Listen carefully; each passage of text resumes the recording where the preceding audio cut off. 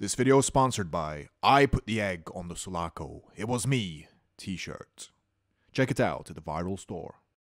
Come on. Come here and give your mommy a big kiss. Let me go, Mom! I don't want to kiss you. My friends are watching. Trilobite versus Engineer. Well, we all know what happened there. The Trilobite is strong enough to overpower the Engineer's biomech suit, so pretty damn strong. The king of facehuggers, not queen. That spot's already taken by this guy. Anyway, let's explore this giant, rapey creature in more detail. During the US CSS Prometheus' mission to LV-223 in 2093, after Charlie Holloway is infected by the black liquid pathogen, he unknowingly impregnates Elizabeth Shaw with a trilobite when the two sleep together. Later, when Shaw's about to give birth to the trilobite, she uses the Pauling MedPod 720i in Vickers' FTL lifeboat to remove it from herself.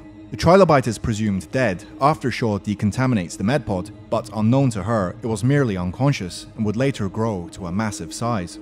Similar to a facehugger, its primary purpose appears to be to implant an embryonic deacon into a host. It's not made clear if the creature was conceived by their intercourse, or if the infant creature merely moved into Shaw from the infected Holloway.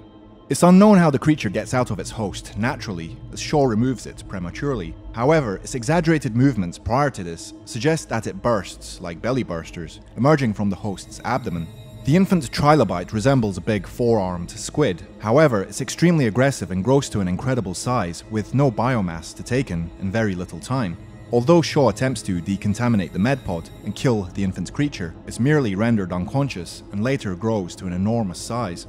When Vickers' lifeboat is jettisoned down onto LV-223 with the trilobite on board, Shaw releases the trilobite from the medbay where it attacks the engineer coming after her.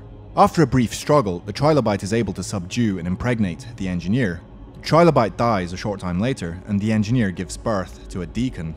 As an adult, it resembles an extremely large facehugger, even larger than engineers, but with many differences. It comprises many large tentacles, which are strong enough to subdue the 9 foot tall last engineer, and also has 6 smaller tentacles that shoot out around its mouth.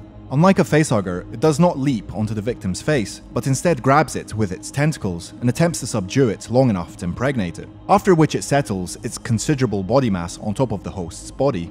At the center of its body is a large mouth, inside which resides a large feeding tube used to impregnate its host.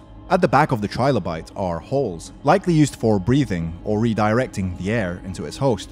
During impregnation, hosts lose strength and fall unconscious, like normal facehugger victims. The impregnation process seems to be the same as the facehuggers, but when a trilobite impregnates a host, it results in a deacon. The trilobite also dies after it impregnates a host. The trilobite lacks a trilobed body and bears no resemblance to the prehistoric creature of the same name.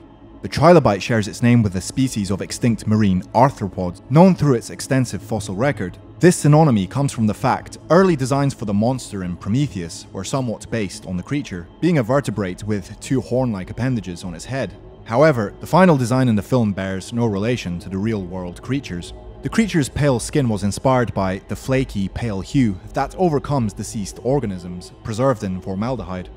So there you have it. That's some basic information on the trilobite. Do you have any additional information? Please let me know in the comments below. And don't forget to subscribe and like the video. Also, please follow me on Twitter. And if you enjoyed this video and want to see more, consider supporting me on Patreon. Or you might catch me serving you at McDonald's real soon. Oh, and make sure you click the bell icon to turn on notifications. I'll see you later.